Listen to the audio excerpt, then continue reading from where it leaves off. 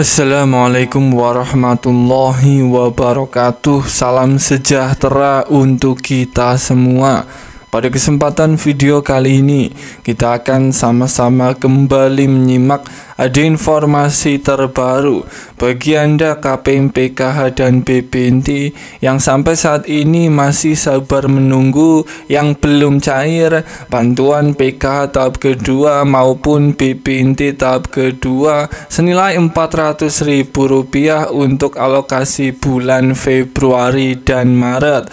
Para KPM PKH dan BPNT yang merasa belum cair ini diharapkan untuk tetap bersiap besok. Saya doakan semoga uang bantuan PKH tahap kedua maupun BPNT tahap kedua Anda semoga akan menyusul cair besok. Kartu KKS merah putih Anda semoga akan ada kejutan, ada saldo bantuan yang masuk. Para KPM saya himbau untuk jangan terburu-buru dulu untuk mengecek KTM. Sebaiknya menunggu informasi pencairan dari pendamping masing-masing. Saya ucapkan selamat terlebih dahulu bagi KPM PKH dan BPNT yang sudah cair bantuannya pada hari ini. Cairnya melimpah tidak berkurang sama sekali.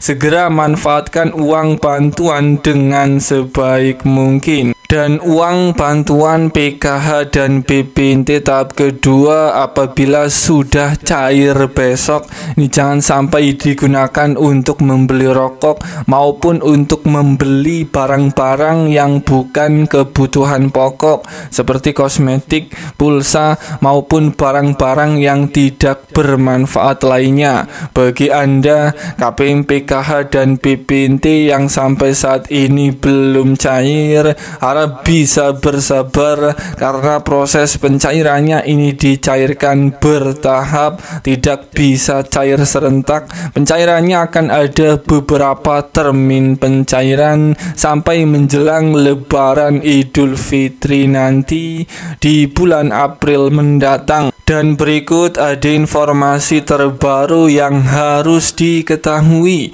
bagi Anda KPM PKH dan BPNT tahap kedua untuk besok. Dan ini terkait kabar terbaru sudah sampai sejauh mana pencairan bantuan PKH dan BPNT tahap kedua dicairkan. Dan kira-kira besok daerah-daerahnya mana saja yang terpantau akan lanjut dicairkan untuk bantuan PKH dan BPNT tahap kedua pada bulan Maret yang berkah ini.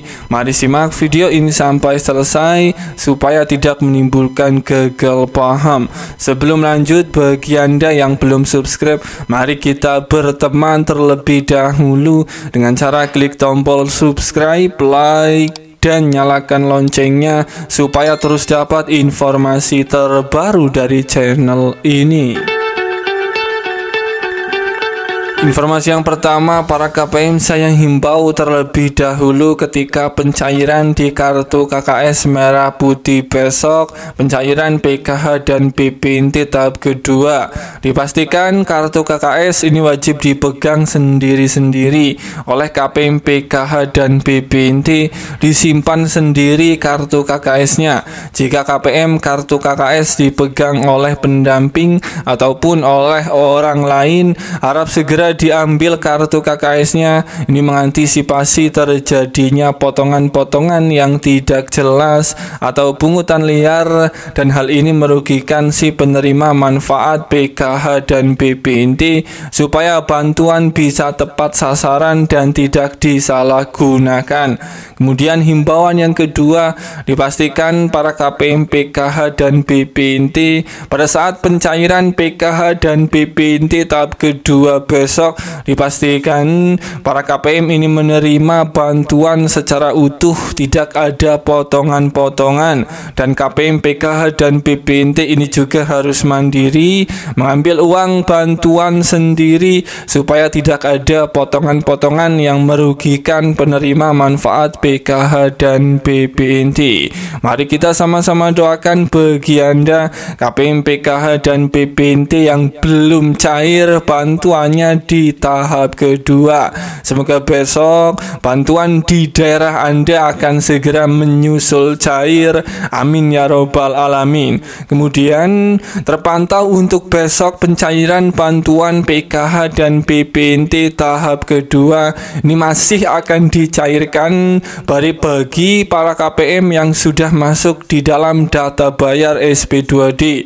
Ini siap-siap besok proses pencairannya masih akan dilanjut dicairkan bertahap di berbagai daerah di wilayah 1, wilayah 2 maupun di wilayah 3. Saya selalu kembali doakan semoga besok uang PKH dan BPNT tahap kedua Anda akan menyusul cair. Semoga ada keajaiban saldo kartu KKS merah putih Anda. Semoga besok sudah mulai terisi. Amin ya robbal alamin. Semoga ini bermanfaat. Sampai ketemu di berita lainnya.